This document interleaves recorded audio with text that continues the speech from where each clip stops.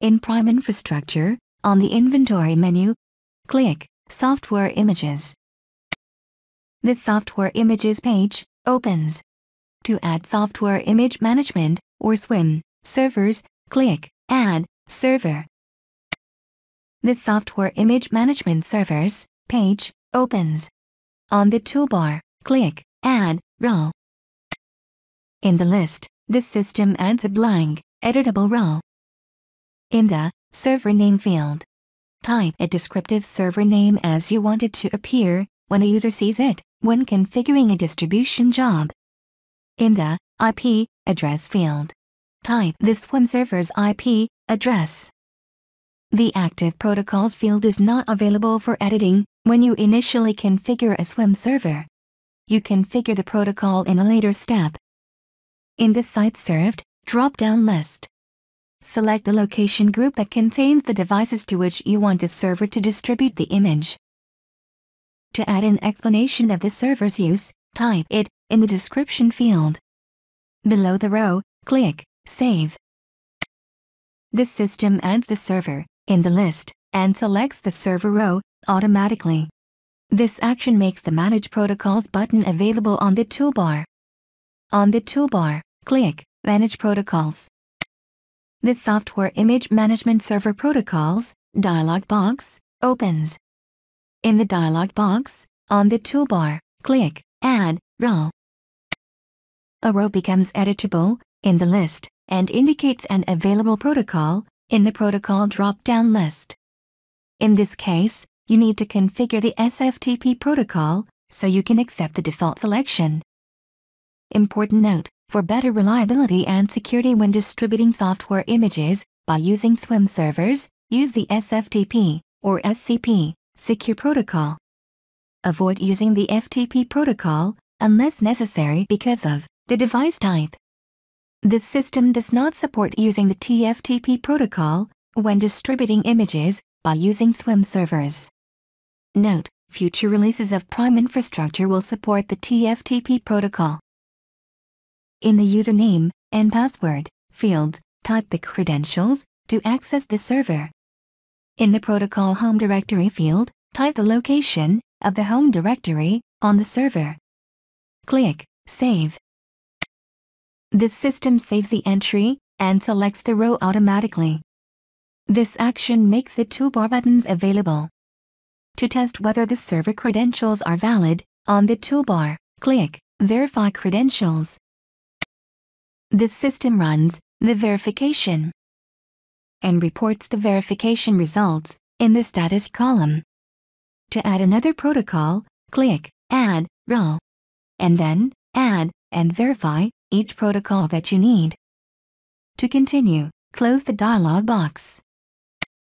The system saves the protocols for the server. Continue to add the SWIM servers that you need. With the SWIM servers added to the system, you now need to import the software image. To continue, in the name path, click the Software Images link. The system returns you to the Software Images page. To import a software image, click the Add Import icon. The Import Images dialog box opens. On the source page, select the location that houses the image file that you need. To continue, click 2. Collection Options. The Collection Options page opens, and, based on the source location that you select, provides the applicable navigation to the file location. To import a file from a location that the system can access, browse to and select the file. With the file selected, click 3. Schedule. The Schedule page opens. In the Job Name field, type a descriptive name for the SWIM collection job so that users can recognize its use. In the Start Time row, indicate when you want the image import to occur. To schedule the job, click Submit. When you submit a swim collection, job, the system starts or schedules it, based on the job start time. In this case, you are importing the image immediately, so the system begins uploading it. When upload is complete, the system then copies the image to the server. When the copy is complete, the dialog box closes automatically. And in the list of swim jobs, in the status column, the system reports the job results. With the image imported into the repository, verify that the minimum requirements for the software image upgrade are configured. For more information, refer to the Upgrading Small Numbers of Devices use case in the job aid, or watch the video. After confirming that the software image minimum requirements are configured, you can distribute the image to the SWIM servers. To configure the image distribution job, click the Distribute icon. The Distribute Images dialog box opens. The image selection page lists all of the images that are available in the repository. In the list, select the image that you want to distribute to the SWIM servers in preparation for activation. Click 2. Device Selection. The device selection page opens and lists the network devices that are eligible to receive the image. Expand a category and select the devices to which you need the system to distribute the software image. As you select the devices, the system automatically verifies that the devices can accept the distribution and selects the device checkboxes. Click 3. Distribute image. The Distribute image and location selection page opens and lists the devices that you selected. The wizard provides this page so that you can review the details of the upgrade before deployment. During your review, you can validate that the list includes the devices that you want to upgrade. That each device indicates the image file name that you expect the system to distribute. The location on each device where the system will store the image, and the file server that will be used to distribute the image. Note, when the system distributes images to SWIM servers, the distribution action to each SWIM server occurs only once. The system determines distribution to each SWIM server based on the first device in the list that the system identifies as associated to that SWIM server by using the location group. Then, the system prompts the devices to copy the image from the designated SWIM server to the designated storage location. To continue, click 4. Image Deployment. The Image Deployment Options page opens.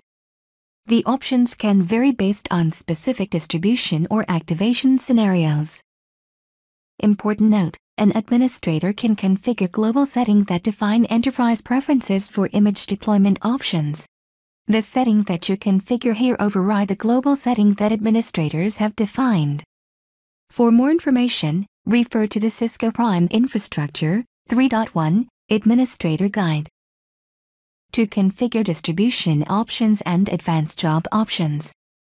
To archive the current running image, select the Backup Current Image checkbox. To erase temporary or unused files, to make flash space available on devices, select Erase flash before distribution.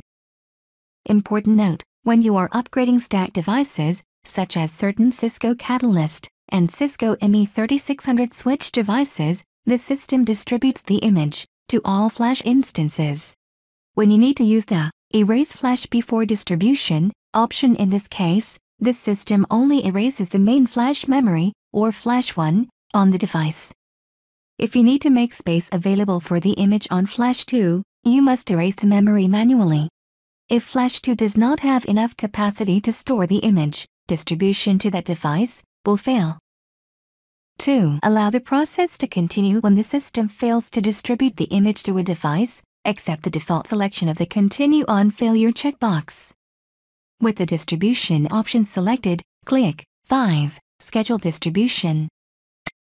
On the Schedule distribution page, in the Job Name field, Type a descriptive name for the SWIM distribution job so that users can recognize its use when reviewing the list of SWIM jobs.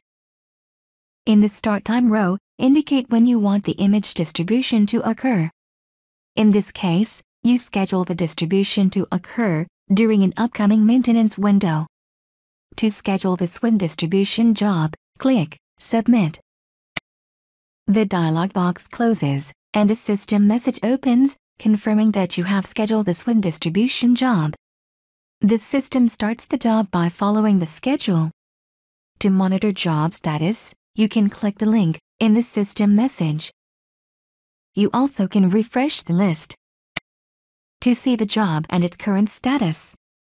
You can continue to refresh the list or click the Run ID link to monitor the job status. When image distribution is complete, the job results are available in the status column. After establishing that the distribution job is successful, you can activate the software image on the devices. Tip. When you are performing the distribution and activation processes as separate jobs, it is best practice to ensure that the image distribution job is complete before you start the activation process.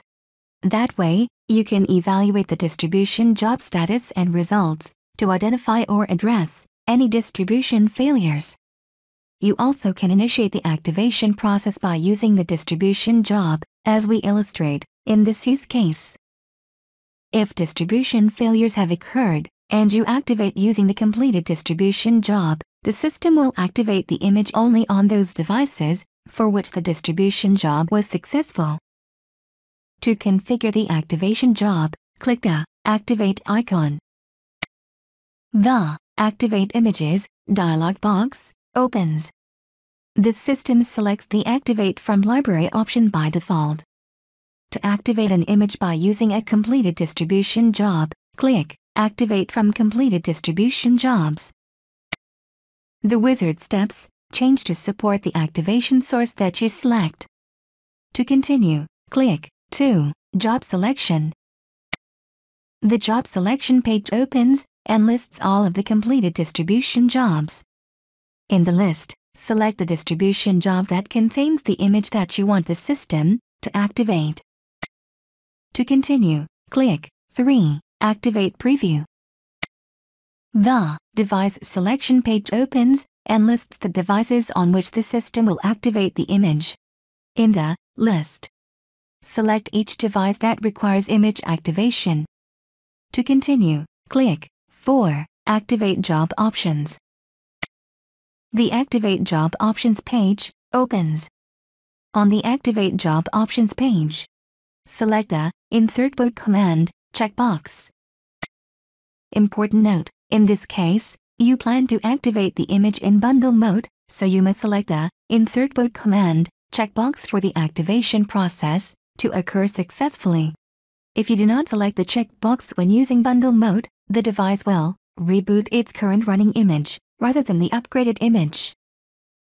When you select the Insert Boot command checkbox, the Activate Options drop-down list becomes available.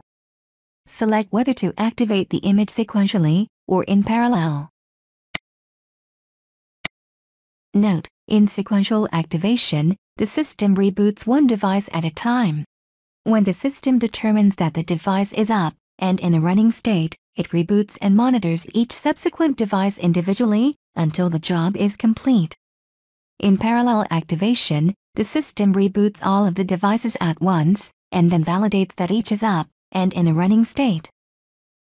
Important note, when a single activation job includes core devices, consider activating those devices sequentially to avoid losing device connectivity. When devices do not have dependencies for connectivity, such as devices on the network edge, you can activate those devices in parallel. Because you are upgrading Catalyst 3850 switches, you need to select the device upgrade mode based on the mode in which the devices are running. For more information on activation modes, refer to the Upgrading Devices on Distributed Networks use case in the job aid.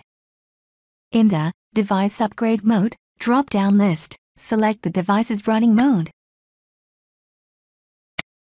For more information on activation modes, refer to the Upgrading Devices on Distributed Networks use case in the job aid.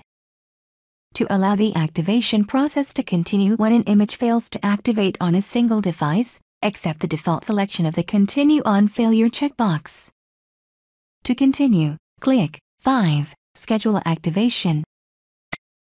this schedule activation page opens. In the job name field, type a descriptive name for the swim activation job so that users can recognize its use when reviewing the list of swim jobs. In the start time row, indicate when you want the image activation to occur. To schedule the job, click Submit.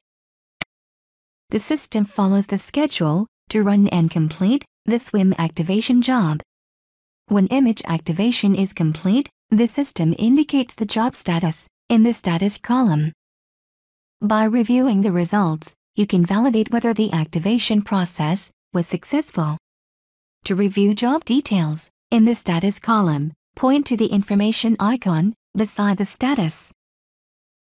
The job summary pop-up window opens and provides an overview of the job results. To review the results at a device level, you can click Job Detail View. Note, the Job Detail View is particularly helpful when evaluating partial success and failure results. To validate that the image that you activated is running on a specific device, open the Network Devices page. In the list, locate and click an Upgraded Devices name link. This system opens detailed information about the device. Click the Image tab. The page displays the current running image on the device. You successfully upgraded the software image on geographically distributed devices by using SWIM servers.